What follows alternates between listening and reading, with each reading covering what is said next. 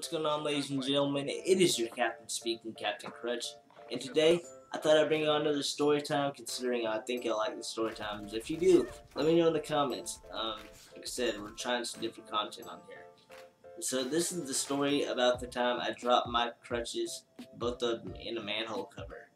Now, what's interesting about this story is, um, I was actually in the process of going to a police station, not for what you think it was, I wasn't in trouble or anything. I was actually interested in seeing the police station and the holding cell and such. I don't know, I was a weird kid. This was back in 2006, so I was a little bit younger back then.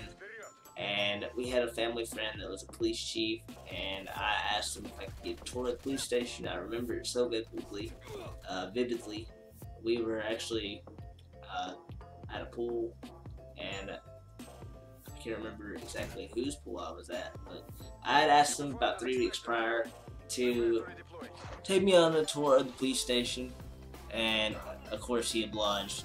So, a couple weeks come, a couple weeks later, um, we load up in the car to go get go get our tour of the police station and the holding cells and jail, pretty much.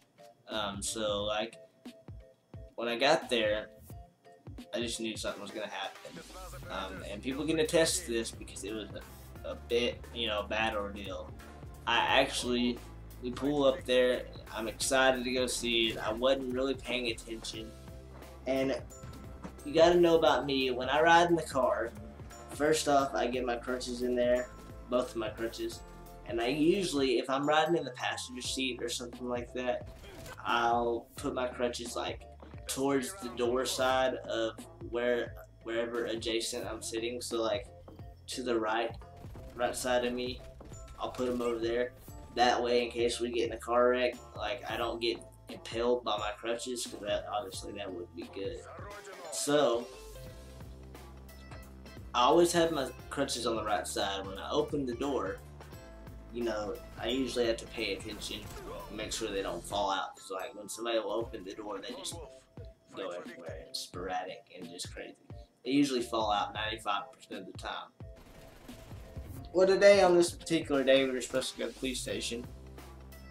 I would get there. My grandma was helping me out of the car. Remember, I'm younger, so I haven't really got my motor skills and stuff down as good as I do now. I really don't have that many problems with it nowadays. But when when I was younger, I used to like sit in the back, and she came around to help me get out because we had a taller SUV, and I accidentally, like I said, I had my crutches on the wrong right side.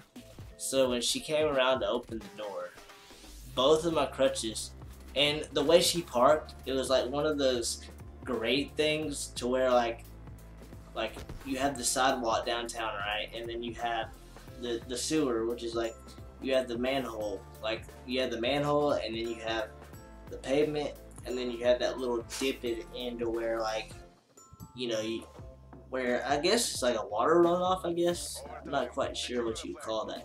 But she had parked like parallel parked super close to the edge of the curb, and it happened to be right where that uh, opening for the sewer was, or the manhole. I guess you could call it the sewer.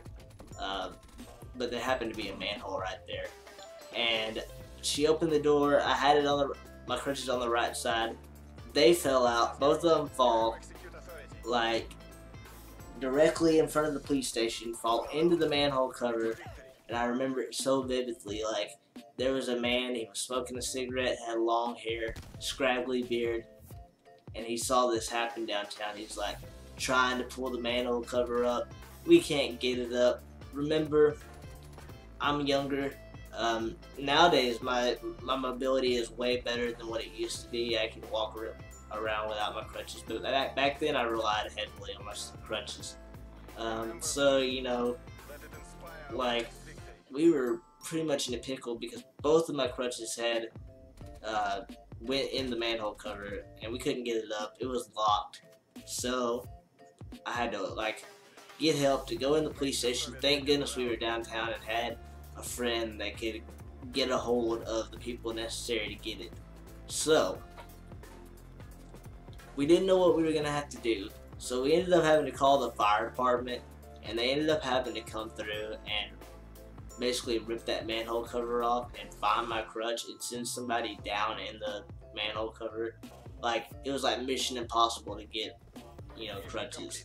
So it's it was an, it was an insane time. You know, I don't really know. Like, I guess it's just my luck. Like crap happens to me like that all the time.